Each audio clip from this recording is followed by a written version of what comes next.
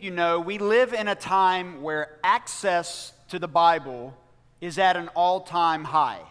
For instance, this morning there are people living in Houston, Texas, who are watching a church service in Charlotte, North Carolina.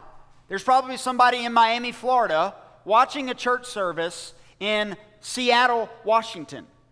You can go to YouTube and find any sermon that you want by basically any preacher that you want. And this is a great gift that we have in the 21st century. But it also comes with a great caution because YouTube is not filtering the biblical faithfulness of whichever sermons are put on their platform. Whatever podcast service you use is not discerning whether or not the preachers and the teachers that you listen to are faithfully teaching the Bible. In our text today, John is challenging the community that he's writing to to test the spirits.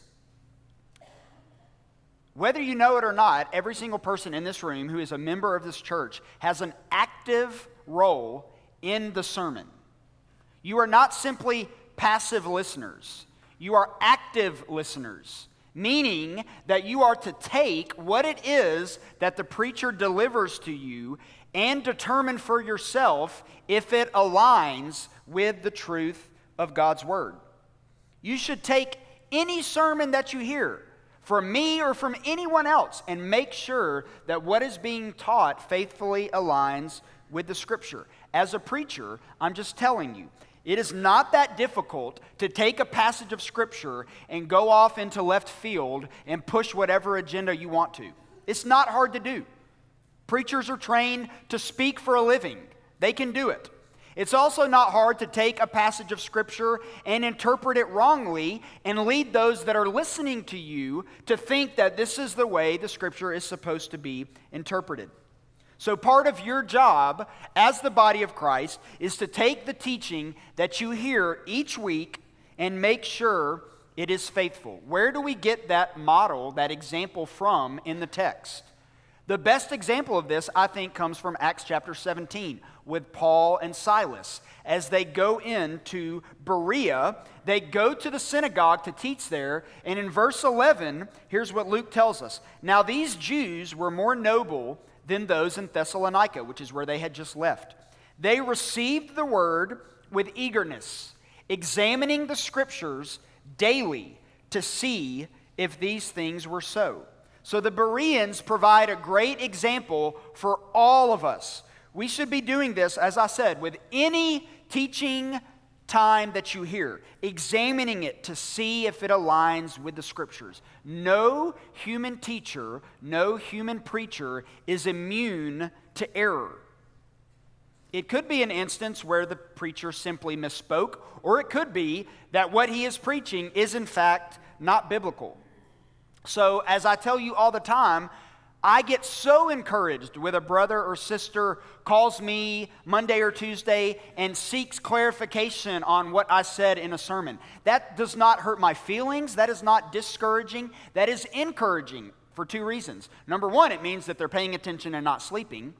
But number two, it also means that they are taking the scriptures and making sure that what the preacher says aligns with what the preacher is saying. So just know that every single week you gather for this moment, when the preacher delivers the Word of God, you have a participatory role in the service. You are an active listener, examining the teaching to make sure that it aligns with the whole counsel of God. So, as we work our way through this passage today, number one, we're going to learn to test the spirits. Number two, use Jesus as the guide. And then number three, trace its origins. Test the spirits, use Jesus as the guide, trace its origins. So, number one, test the spirits. John addresses these Christians as beloved.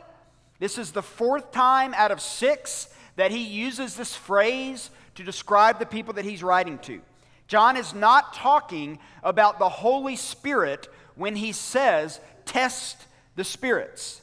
He's talking about testing the teaching of anyone who would claim that they are speaking on behalf of God. And this doesn't happen a lot within the Baptist denomination, but in some dom- denominations, there are times when someone might have a prophetic word that they want to share with the congregation. Now, most of the time, these are filtered through pastors who then determine whether or not this prophetic word can be shared with the congregation. And that's very wise because what we don't want is someone coming up and saying, I have a word to share with the congregation, and then we find out after they shared it that what they shared is not biblical or would contradict the teaching of Scripture, right? So you always want to be able to filter any type of prophetic word that a person might have that's assuming you still believe that those gifts of the spirits exist, which is a whole other issue that we'll not talk about this morning. But that does happen in many denominations. What's most important when anyone has a prophetic word to share, whether it be a church member or whether it be the preacher, that it aligns with the teaching of God's word. Sometimes in those moments, people might say things that they mean with good intentions, but clearly do not align with the faithful teaching of God's word. And as we have said, everyone in the church has a role to guard the teaching of the church closely even if it's the primary responsibilities of the pastors and the elders. So, in John's context, we know that false teaching was taking place.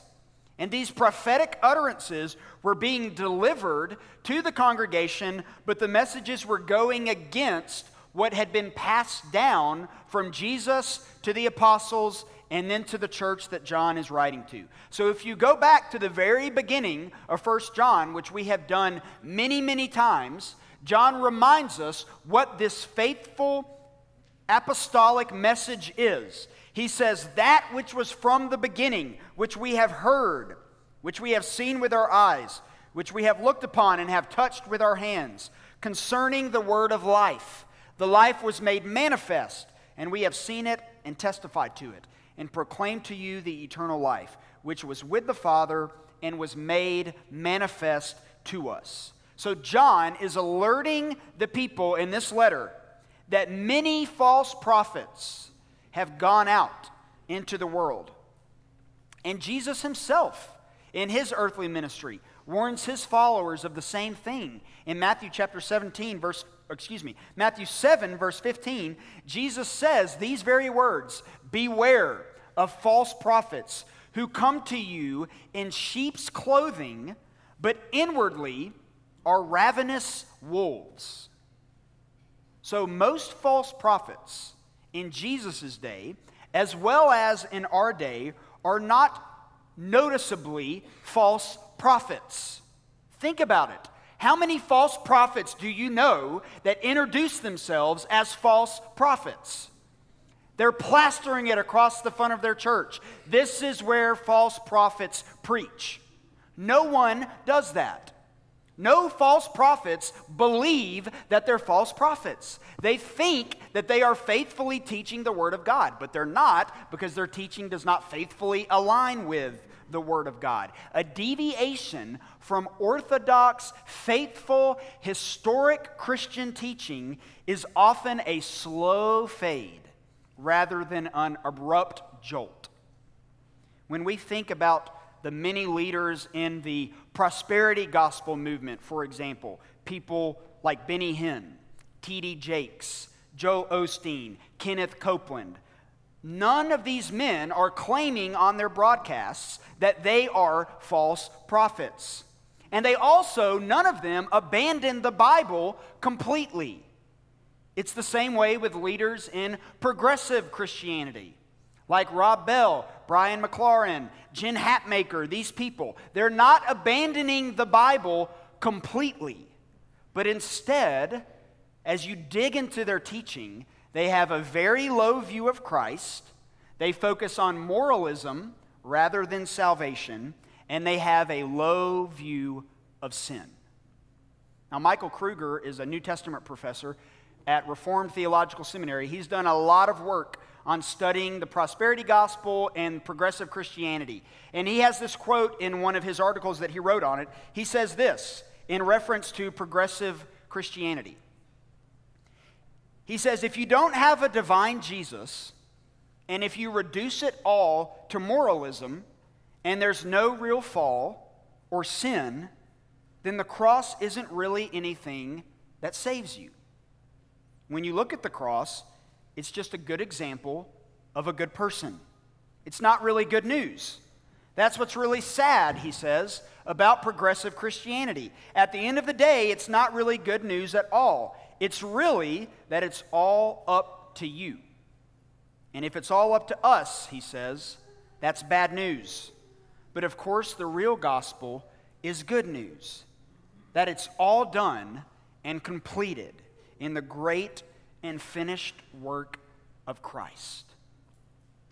So, as you consume all of the Christian teaching that is out there, you need to be looking for people that faithfully talk about sin, the holiness of God, the atoning death of Jesus for sin, but also those that faithfully teach that God is gracious, merciful, loving.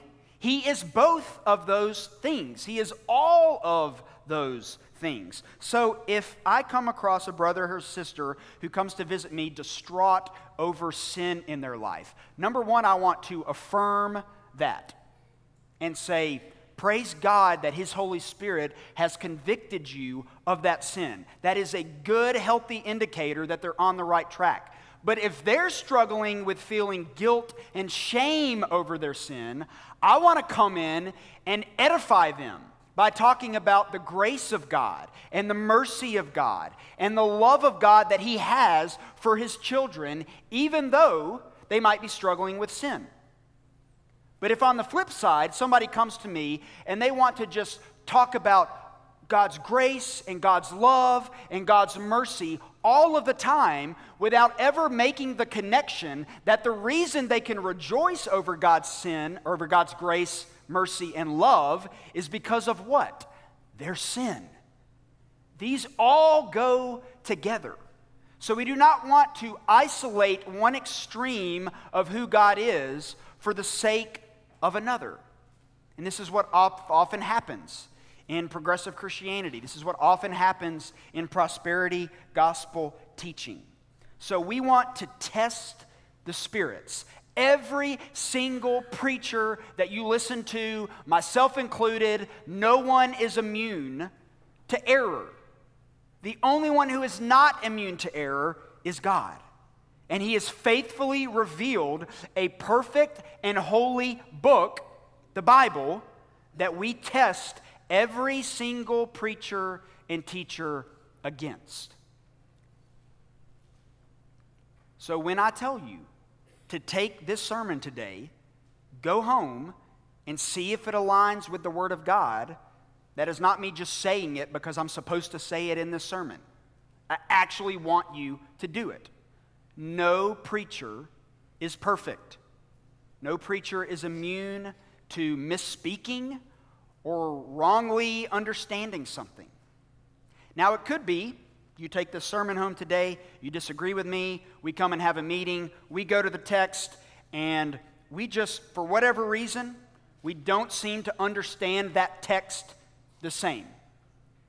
Now, assuming that it's not something like, you know, Jesus dying on the cross or the resurrection, which are not up for debate. Don't even waste your time bringing that up to me, all right? I'm not going to argue with you over that. But if it is something that maybe there is room for disagreement over, which happens, there are going to be some of us in this room who have different views on what we would call secondary and tertiary matters of the faith. Those would be the second level, third level issues that should not break down Christians having fellowship with one another. Those are some of the issues that we might disagree over, but we can still say, you know what? I happen to believe that the scripture is faithfully teaching this. You happen to believe that the scriptures are faithfully teaching this. So we're going to love one another as brothers and sisters in Christ, but just know that at the current moment, we're not seeing eye to eye on whatever that issue must be. So we always, number one, want to test the spirits. That is what John is telling the congregations that he's writing to in this passage to do. Test the spirits. Every single prophetic utterance, John is saying, that comes before you, make sure it is faithful to the message that has been handed down to you from Jesus to the apostles and now to you. And then number two, use Jesus as the guide. So we want to test the spirits, then use Jesus as the guide. We have been in this letter long enough to know the issues that were happening in these churches. These false teachers were claiming that Jesus was not God in the flesh, and they were claiming that they were without sin. Thus, Jesus becomes the guide to determine whether or not the Spirit is of God. Look at verses 2 and 3. By this you know the Spirit of God. Every spirit that confesses that Jesus Christ has come in the flesh is from God. And every spirit that does not confess Jesus is not from God. This is, he says, the spirit of the Antichrist, which you heard was coming and now is in the world already. So the teachers in John's day believed that Jesus Christ came in the flesh but he was not from God. These are what these false teachers were believing. And in response, these true Christians responded to that teaching about Jesus by staying faithful to the message that had been handed down to them. Have you ever read the Sermon on the Mount before? Specifically in chapter 5, where Jesus is essentially saying in this part of the Sermon on the Mount that everyone who has ever been angry or has ever lusted after someone that's not their spouse is a murderer and an adulterer. That's very convicting, right? We all fall short of this. So sometimes when we hear the faithful teaching of God's word, here's the deal we might not leave feeling good about ourselves. We might feel convicted. We might feel challenged. We might feel like the only hope we have as we leave today is pleading the blood of Jesus Christ. And that's exactly how we should feel all of the time pleading for the blood of Jesus to save us from our sins. So many of these false teachers were pumping up the church to believe things that were not true and to make them feel good about those things that were not true. And John is coming in and reminding them if you say you have no sin, you deceive yourselves, and the truth is not in you. That's challenging, that's convicting, right? Not what people want to hear. But John knows that conviction and truth always has to trump someone leaving feeling great and good about themselves. Now, I freely admit, you know this about me, I do not consider myself to be a chief encourager. My bent my, in my mind, I work more black and white. I am more prone to preach for conviction oftentimes than I am encouragement. And by God's grace, in His work of sanctification, I hope He grows me into being a far more uh, encouraging person than I sometimes can be. But we need both in the church. We don't just need one. We need both preaching for conviction and preaching for encouragement. But in the context of John's letter, you have to feel the weight of his discussion about the seriousness of sin. The sins of Christians matter because it hinders our communion with God. The sins of non Christians matter because it leads them to hell apart from repentance and faith in Christ. So, in contrast, to true teaching that focuses on Jesus coming in the flesh, being sent from God. These false teachers were claiming Jesus is not God in the flesh. And John calls this spirit the spirit of the Antichrist. And we talked about this some in chapters 1 and 2. But remember, there's capital A Antichrist, and then there's lots of lowercase Antichrists. And in chapter 4, John is referring to the lowercase antichrists. This would be anyone who is spewing false teaching that Jesus did not come as God in the flesh, and that it is possible to be a Christian and not uh, have sin in your life.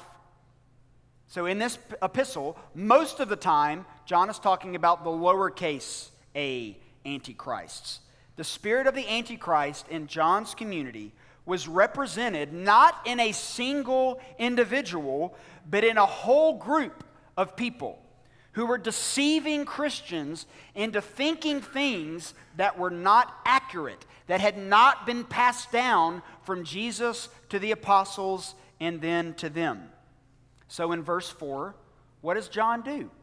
He encourages the faithful brothers and sisters. He says, Little children, you are from God and have overcome them, talking about the false teachers. For he who is in you is greater than he who is in the world. So, as John continues to warn the Christians, he also wants to remind them by encouraging them that they have, up to this point, remained true to the gospel and that they did not follow these false teachers. So, how have they been able to overcome the false teaching? It's because the Holy Spirit is at work in them, enabling them to reject this false teaching we know that the role of the Holy Spirit, according to John 15, John 16, John 17, is that of helper. The Holy Spirit is our helper. He is the one who can help us discern between true teaching and false teaching. The Holy Spirit will not lead you down a path that would be contrary to the teachings of Scripture. This is so important. That when people tell us they've received a message from God or they, they want to share a message that the Lord has given them, and we hear it out and we realize that what that person is saying is not biblical whatsoever. And it's hard in that moment to tell that brother or sister, I'm not so sure about that.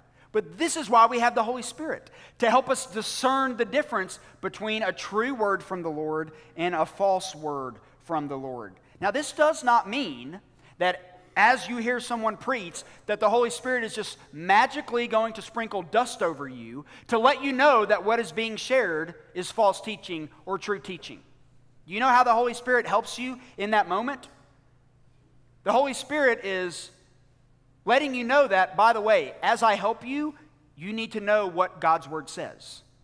So there is no like express pass that you can take and just think that the Holy Spirit is just automatically going to tell you what is true and what is false. No, you have to get into God's Word. And as you get into God's Word and you learn more about what is true and what is false, the Holy Spirit will illuminate your heart to remind you of those things.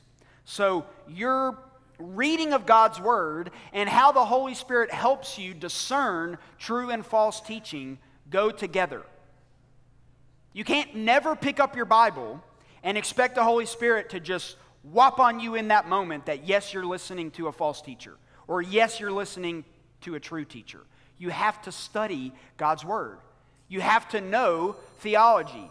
You have to delight in doctrine, as we've been doing these last six to eight weeks, and we conclude tonight at 4 o'clock. Shameless plug for Delight in Doctrine. I had this situation happen in our own church a couple of weeks ago where a brother in Christ reached out to me and asked if I had heard of a particular teacher out there. I had not, but a quick search popped up the fact that this individual teacher had a lot of red flags. Now, the question is how did this brother know that the teacher that he was investigating was a false teacher? Well, one was an, a big giveaway. He was closely related and associated with Joel Osteen. That's always a big red flag. But number two, I happen to know this brother well enough to know that he is faithfully in God's Word day in and day out. And over the course of his life, as he is sanctified in Christ, the Holy Spirit has helped him to discern what is true and what is right. And as he investigated this teacher, he had a pause in his spirit about what was being taught. This didn't happen because the Holy Spirit just magically sprinkled dust on him. It's because he's faithfully studied his Bible over the course of 30, 40, maybe 50 years. And the more we consume God's Word, the more it seeps into us. Even if we don't ever memorize whole books of the Bible, the more you expose yourself to God's Word, the more the Holy Spirit can help you discern between true and false teaching. So there is never a substitute for just faithfully reading God's Word day in and day out. So we use Jesus as the guide. Any teaching that would stray from the message that Jesus passed down to his apostles and then passed down to John and all of the others, which was then passed down to the church throughout history and has now been passed down to us. Any message that would deviate from what John tells us in the very first chapter of this letter, we should classify as false teaching. But number three, we always want to trace the origins of any teaching. Look at verses 5 and 6.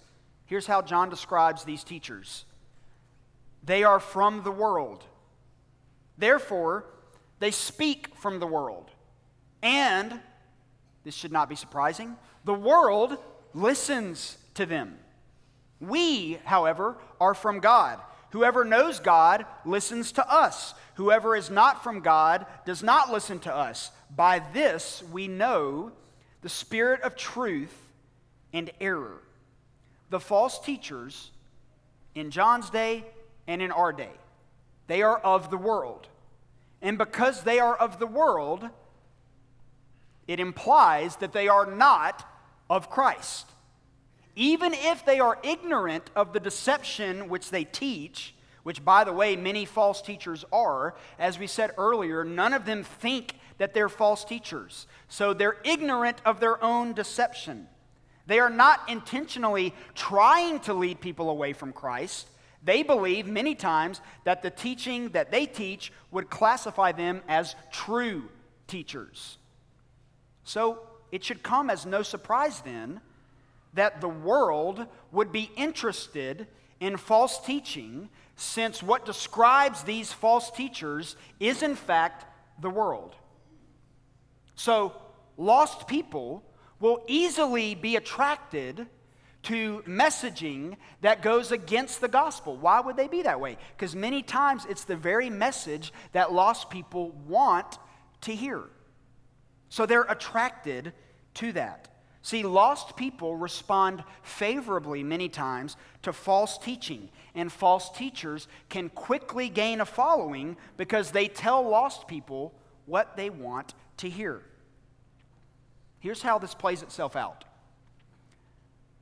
Hypothetically, I could preach shorter sermons strictly in the Gospels, never discuss any of the challenging, complex books of the Old Testament, like Leviticus, Judges, you name it, the books that just really confuse us and scare us. We could talk about political issues and current events and get people excited about those things. We could never mention sin, the holiness of God, the wrath of God, the judgment of God, we could exclusively emphasize God's love, God's grace, God's justice, God's mercy. Those are all true things, but we don't want to just exclusively talk about those things. And you know what would happen if we did that? We might have more people come. We, we might be able to create a following. Not because of anything I'm saying, but simply because the message is what people want to hear. And if we did that for a while and we sold out to that, we might grow numerically. And if the goal of our church was to attract a large quantity of people with a false gospel, I'm fully convinced we could do it. Because we have lots of smart people in this church and we could brand things a certain way, and our messaging could be so creative that lots and lots of people would come, perhaps, but they would not be hearing the truth of the gospel. So, what we have to do is opt for a different way. So, week in and week out, we try to faithfully teach the whole counsel of God. It was not always fun to bring to you the book of Judges every Sunday. I didn't wake up all those Sundays and just jump for joy that we were in Judges 6 learning about a dude getting his head chopped off. That's not always an appealing message that people want to hear. But we want to faithfully teach the whole counsel of God and allow the Holy Spirit to do His work at His rate of changing our hearts to be more in line with Christ. We try to sing songs that are theologically rich. So it might not be at the tempo or the style that everyone wants. But the theological richness of what we sing with our mouth is far more important than the melody of the song itself. We're going to emphasize the, the weekly gathering until you get so tired of me talking about it, and then I'll continue to talk about it.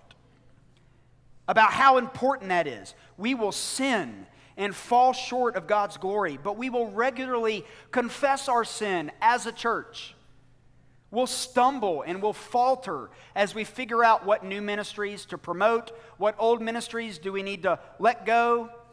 The pastors will fail you. We will forget to call you. We will forget to visit you when you're in the hospital. We will make bad decisions that were painfully obvious to everyone but us that what we were about to do is a bad decision. We will do all of those things. And by God's grace, hopefully, you will remember in those moments that you aren't at the church for your own personal preferences or a specific song or a specific program or ministry. You are primarily at the church to feast on the Word of God and communion and celebrate baptism and be in fellowship with other believers who know your strengths and your weaknesses and your warts and all. And yet, for whatever reason, they still love you and care for you. And by doing those things, we hope, by God's grace, that we will know God and His Word better, and we will be able to better defend ourselves against false teaching that is out there. So, trace the origins means does the teaching that is faithfully expounded week in and week out here or any other church, does it take you back to Jesus and the faithful message he passed on to his followers? Many of you are familiar with Christopher Hitchens. He was a very prominent atheist. He passed away about a decade ago. He was part of the new atheist movement with Richard Dawkins and many others. And he was interviewed before he died by a lady who classified herself as a liberal Christian. And what she meant by that was that she did not believe in the atonement, that is, the, the death of Christ, and that she didn't believe the scriptures should be taken all that seriously. And as she interviewed Hitchens, she was thinking by communicating this that maybe he would be able to identify more with her since she's not a a conservative, fundamental Christian. She's a more liberal Christian. And in the interview, here's what Christopher Hitchens said in his response to that. He said, I would say that if you don't believe that Jesus of Nazareth was the Christ and the Messiah, and that he rose again from the dead, and by his sacrifice our sins are forgiven, you're really not, in any meaningful sense, a Christian. This is coming from a man who does not believe in God. He thinks it's completely made up. He is an apologist, or was an apologist, for atheism, trying to draw people out of Christianity to believe that it's all a hoax. And he is telling her, okay, let me get this straight. You say you're a Christian, but you don't believe in any of the key tenets of what it means to be a Christian. Basically, he tells her, based on what you've told me, you're not a liberal Christian, you're not a Christian. An atheist who wants nothing to do with Christianity, is telling her this. And I have to say, as much as I obviously disagree with Christopher Hitchens on lots of things, he is 100% spot on in his answer to this interviewer's question.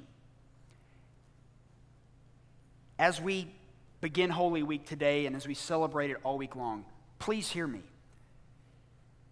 If Jesus did not actually die on a cross and did not actually come back from the dead, then we are all wasting our time. There is no need in practicing Christianity as a ritual if you do not actually believe that Jesus died and rose for your sins. In fact, this would not be very pastoral of me, but in some ways, I would rather you not come until the Holy Spirit could convince you otherwise. You're not impressing anyone by gathering here every Sunday morning out of respect for cultural Christianity or out of respect for ritual religion if you do not actually believe the teachings in this book. So, Christians, my challenge to you get into God's Word and trust the Holy Spirit to guide you as you discern true and false teaching. Progressive Christianity on one side, prosperity gospel on the other side are not biblical Christianity. Non Christians, which I know we have some here today, the only faithful gospel teaching is one that urges you to repent of your sin and place your faith in Christ alone for salvation. That is the gospel. Not because I say it, but because God's word says it from Genesis to Revelation. The whole counsel of God teaches that man could only be made right with God through believing in faith and repenting of sin. So do that today. Let's pray together.